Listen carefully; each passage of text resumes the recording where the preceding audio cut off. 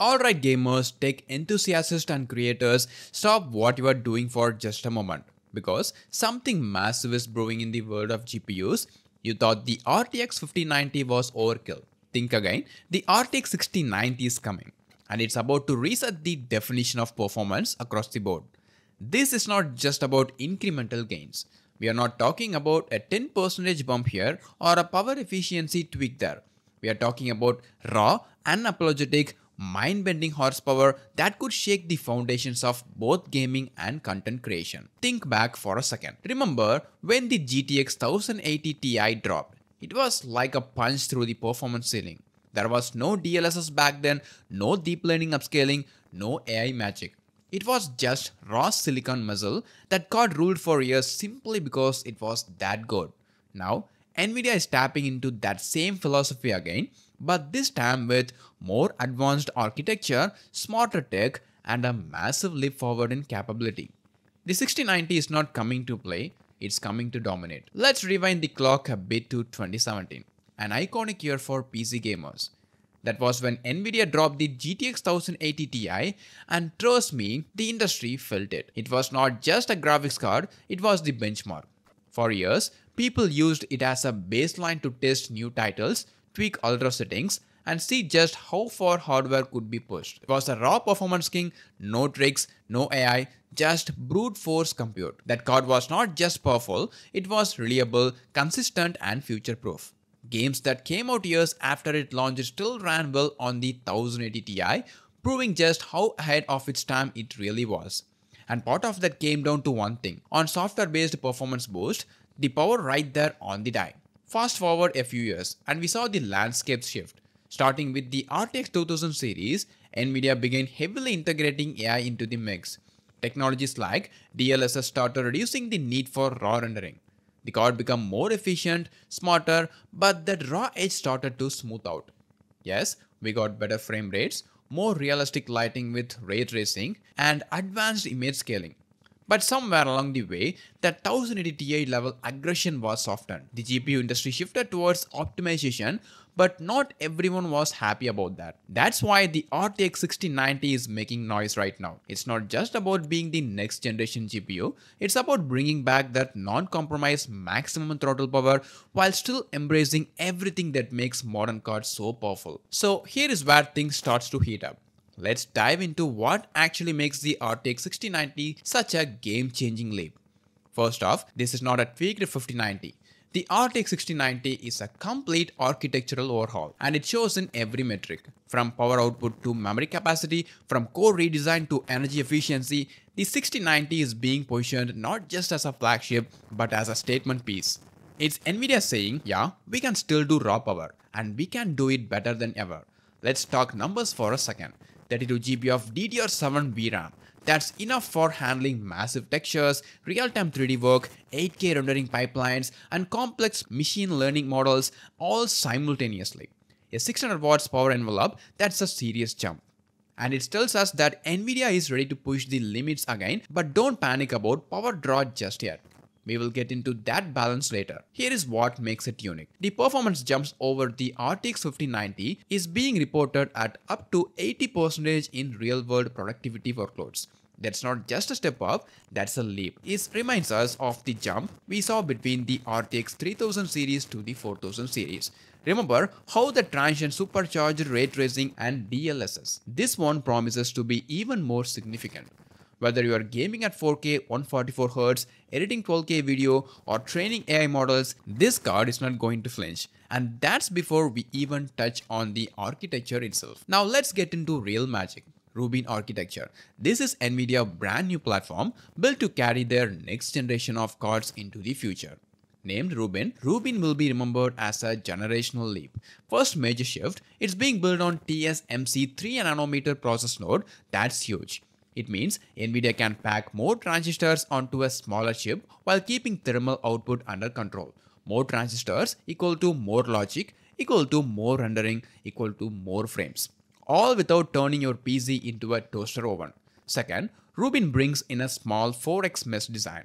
This is like supercharging the GPU's brain. With a denser, more efficient core layout, Rubin can execute a lot more instructions per cycle, which means faster data throughput, lower latency, and a dramatic boost in compute performance. We are looking at an architectural design with a parallelism in mind. It handles more threads, processes more data, and distributes workloads with laser precision, especially in high load environments like ray tracing and AI rendering. But What's most impressive, Rubin doesn't just boost performance, it manages to keep power consumption close to the previous generation. Despite offering up to 80% more net productivity, it doesn't spike heat the way older architecture would. That's what makes it such a brilliant evolution, not just faster, but smarter. Let's not dance around it. Here is the specs you came for. Memory 32 gigs DDR7 ultra fast memory bandwidth. Power draw 600 watts, serious juice, serious cooling, performance gain 80% over RTX 5090 in raw computational power. Ray tracing and full support for next generation DLSS, release date targeting mid 2026. Now 32 gigs of VRAM is not just a flex, it's Nvidia future proofing this card. Games are getting bigger, textures are getting denser, and open world games with AI driven assets needs massive headroom. This card is not going to struggle anytime soon. Also, yes, 600 watts, it's hefty. But remember that peak performance power, real world use cases may drop far less and Nvidia is expected to optimize power curves based on load. So, while your PCU needs to be beefy, you're not going to fry your system every time you boot up. Nvidia is not stopping with one model, they are crafting full 6090 lineup. So far, we know of three distinct versions. RTX 6090 standard or take 6090 super. This could be the most balanced of the bunch. Think of it like the 4080 Super performance close to the TI, a smart choice for high-end gamers who don't want to upgrade their PCU or cooling setup. This is not just a gaming card. The RTX 6090 is going to be a creator's cream. For those working with 4K, 8K or even 12K workflows, 3D modeling, AI video tools or VFX heavy timelines, the 32 gigs of VRAM alone is a game changer. You will no longer need to rely on caching to system memory, everything happens in real time. Plus, Rubin brings enhanced CUDA cores count, faster NVENC, NVDEC encoders and more efficient tensor processing. That means better exports, faster renders, and smoother previews in Premiere Pro, Blender, DaVinci Resolve, Unreal Engine, and more. For AI developers, the RTX 6090 might just become your go-to desktop GPUs. It's a monster for training models, running simulations, and deep learning, all while maintaining desktop level flexibility. Now, let's address the elephant in the room, 600 watts. Now, is the number made your jaw drop? You're not alone. For a long time, GPUs hovered in the 250 to 350 watt range. The RTX 4090 pushed into the 450 watts territory. And now we are looking at 600 watts plus monster. That raises lots of questions. Not just about power supply needs, but about cooling, case airflow, and long-term thermal behavior. Here's the thing, NVIDIA knows this is not a casual plug and play upgrade. This card is designed for enthusiasts who already have or willing to build a high-end system. If you're running a standard 750 watts PCU, this card will not cut it. You're going to need a solid 1000 watts to 1200 watt PCU, preferably platinum rated for stability. But it's not just about how much power it draws, it also how smartly it draws it. Rubin architecture allows dynamic power allocations, meaning under lower loads like web browsing or light editing, it won't be burning full throttle. And when you're gaming or rendering, it ramps up smartly. Cooling wise, we are expected triple slot cards minimum and possibly some liquid cooled or hybrid variants. There is also a strong chance that AIB partners like Asus, MSI, EVGA will launch beefed up custom versions with vapor chamber cooling, extra fans and even external PCU kits for stability. So yes, it's a power hungry beast, but if you're buying a 6090, you are not building a mid-range rig. You are building a desktop powerhouse and every part of that needs to be ready. So RTX 6090 will almost certainly be one of the first NVIDIA GPU to support full PCIe Gen 5.0 bandwidth. So what does that mean? PCIe 5.0 doubles the bandwidth of PCIe 4.0 up to 64 gigabytes per second compared to 32 gigs. This might not directly impact gaming performance right way, but for data heavy workflows, content creators, and AI developers, it means no bottlenecks when transferring massive datasets or 3D models. Also, expect to see a return of 16-pin PCI 12VHPWR connector, maybe even refined version of it. Nvidia might address the issue we saw with the melting connectors on the 4090 by working with PCU manufacturers to create native 16-pin outputs with better thermal control and less wiggle room. Memory bandwidth also sees a massive jump.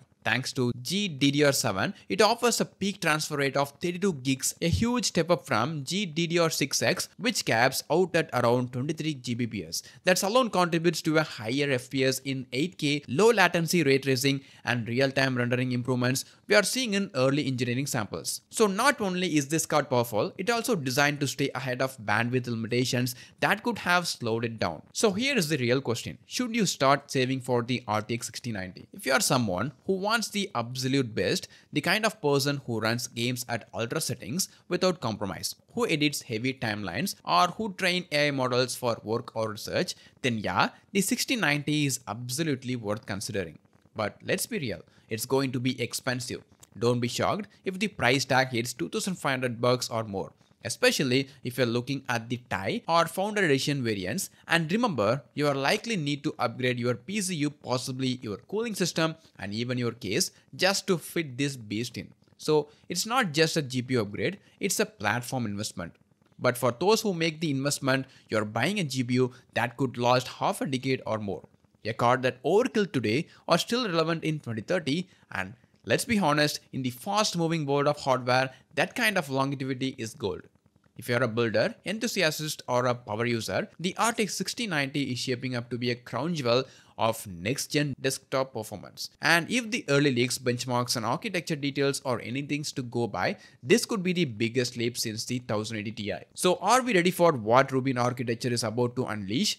Let me know in the comments, is this the type of GPU you would go all in for or is it too much power, too much heat or too steep of a price? Smash that like button if you're hyped for what the RTX 6090 is bringing. Subscribe if you're into deep tech dives, gaming hardware breakdowns and the real story behind the silicon. And hey, share this with your GPU obsessed friend who already budgeting for 2026 because trust me, the GPU wars are not over, they're just getting started. Catch you next time. Peace out.